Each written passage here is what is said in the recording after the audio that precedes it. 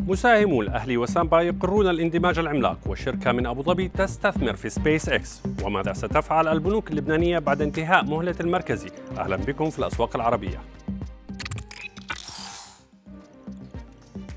أقر مساهمو كل من البنك الأهلي التجاري ومجموعة سامبا المالية بنهاية جمعيتهما العموميتين. أقروا دمج البنكين لتشكيل البنك الأكبر في السعودية بأصول تتجاوز 896 مليار ريال.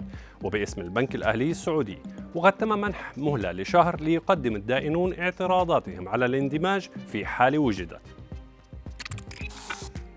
استثمرت الشركة العالمية القابضة المدرجة في سوق أبو ظبي في الصندوق الرابع لفالكون سي آي وشركة الفضاء سبيس إكس وكانت سبيس إكس قد أكملت جولة تمويل أسهم نهاية فبراير الماضي بقيمة 850 مليون دولار لترفع قيمة الشركة إلى 74 مليار دولار.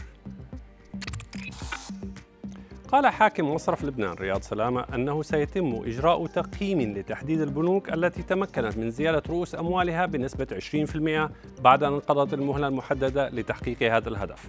وأكد سلامة أن البنوك اللبنانية التي لم تحقق النسبة المستهدفة ستحال إلى لجنة مصرفية كل مصرف على حدة لاتخاذ القرارات المناسبة بحقها.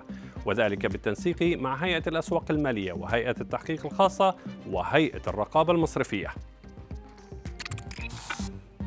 حذرت لجنة الرقابة المصرفية في الصين من أن الفقاعات في الأسواق الأمريكية والأوروبية قد تنفجر عاجلا أم آجلا لأن ارتفاعاتها تتجه في الاتجاه المعاكس لأداء اقتصاداتها.